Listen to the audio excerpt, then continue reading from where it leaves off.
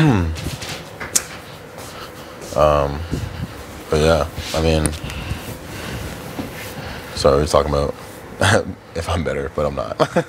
um, yeah, man, I'm just think I'm just saying like I think me being here is better and in the best interest of everybody in this room, and I've shown that with my loyalty and how I play the game, and um, you guys know like moving forward where my head's at, what I'm doing,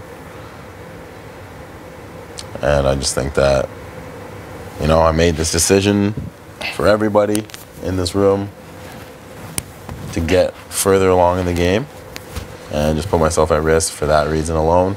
And I really just, I just, I just put all my trust into you guys pretty much. Like, yeah, was it, was it, a, was it a ridiculous decision? Maybe, in the eyes of many, but I just like had that much trust in you guys that you would kind of come through, you know.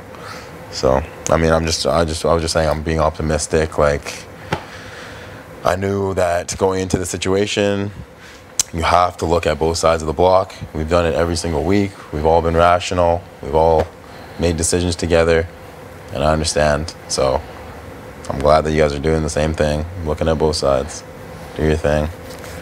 Um, but like I said, like I just wanted everyone to be open-minded and just like give give the kid a chance. You know, after I after I did that, because I just you know I just I'm fine with going out of this game. It's just like that move and then Tara's HOH. Like it just that that one's tough. Like that one's just tough for me. Like that's just a tough one.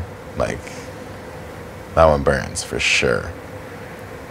And I know that I just wouldn't want any of you guys to feel that. And I would, I know, I would just hope that that would be like reciprocated. And um, yeah, I don't know. I know it's just for me. It was always just you know the final four, and we were talking about it, and that's what I was just trying to make sure we got.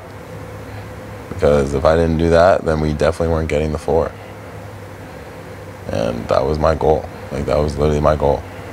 And we're all competitors. We're all here to play the game. And I thought at that point for sure we could just whoever wins wins at that point. I don't want people in here that are potentially going to win that like none of us think represent the season. Like I want someone sitting at the end that represents our season. We can be proud of saying, okay, that person played the game. That person won the game. Great. I can vote for that person.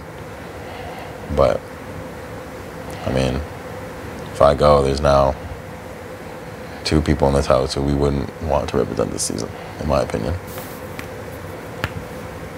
And that just lessens your guys' chances of winning the season. You know? So, I don't know. It's, all, it's always been about the numbers for me. It's always been about trust and loyalty to me, riding with your team. And I literally chose my team from day one, day two and have not wavered once. Cards have been on the table. Everyone knew that we were working together, except for a couple of us, but everyone knew. And we still made it this far. So